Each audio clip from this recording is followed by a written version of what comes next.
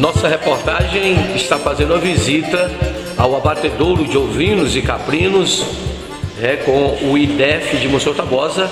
Aqui nós estamos nas dependências, essa primeira sala que a gente confere aqui, aqui é a sala onde acontece o primeiro momento, o abatedouro.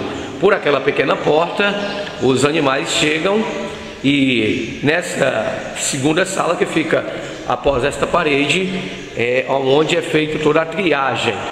Aqui, duas câmaras frias para a higienização e também toda aí, portanto, é, a questão de conservar e atendendo aos critérios é, dos órgãos fiscalizadores e regularizadores.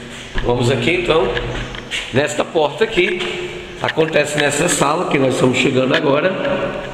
Aqui a pesagem, os cortes finais para ir, portanto, né, aqui, portanto, finalizando, tá aí para você. E isso vai atender a todos os, a, a, os criadores de toda essa região